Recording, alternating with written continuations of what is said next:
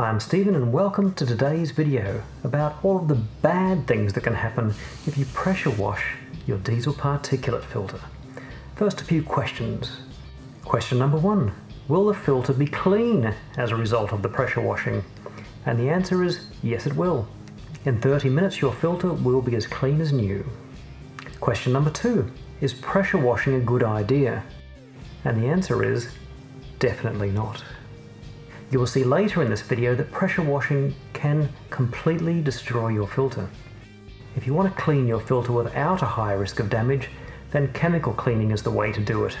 I'll put a link up the top to my video about chemical cleaning, if you want to stay safe. Question number three, what if I want to do it anyway? Well, that is entirely up to you. I'm never going to be the one to tell you that you can't live dangerously. If you find another used filter for your car for $50 on eBay, for example, then maybe the risk is okay. If, however, you need to clean out the filter on a BMW 750D and the replacement filter has a cost of over $2,000, then maybe the risk isn't worth it. But it's up to you. Enough questions, let's get on with it. For a previous video I've cut open an old filter and then cut it into pieces. I've secured a piece here ready for pressure washing and I've cut away a section to reveal the channels. I've done this to see how thick the blocked off section of each channel is and you can see here that it measures 2.6 millimeters or one tenth of an inch. So there really isn't much damage that can be sustained to the ceramic material before it is completely ruined. Let's start washing. This pressure washer has a rating of 140 bar or 2000 psi and I'm not getting that close.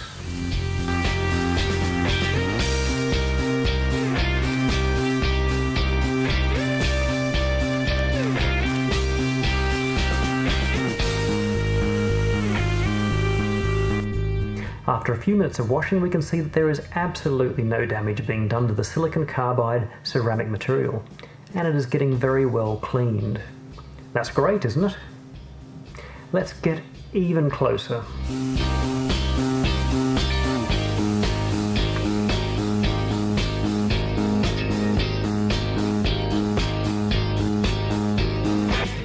Oops, that is not good.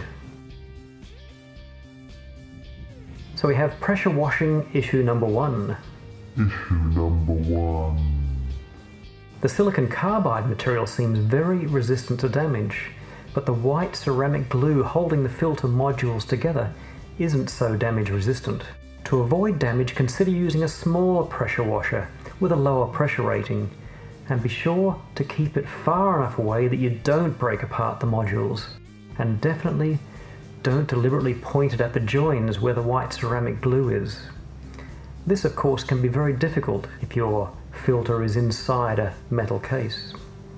The next part of your filter that can be damaged is the fiberglass insulation that is squeezed between the ceramic material and the steel or stainless steel case. It is light and fluffy yet extremely heat and pressure resistant, but 2000 psi of water pressure might be more than what it is designed for. Okay, let's give it a blast.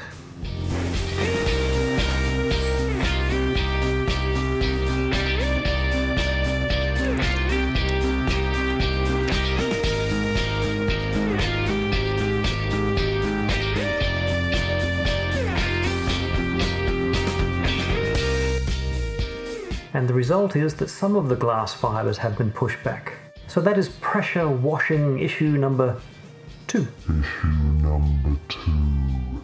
To avoid damage to the fiberglass insulation, avoid pointing the pressure washer at the edges of the ceramic material, where it is closest to the case.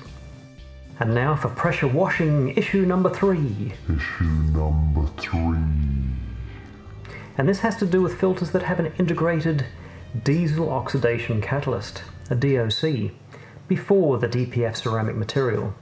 These newer EU5 rated filters were introduced from approximately 2010-2011 and it is not a good idea to point a high pressure washer at the diesel oxidation catalyst material.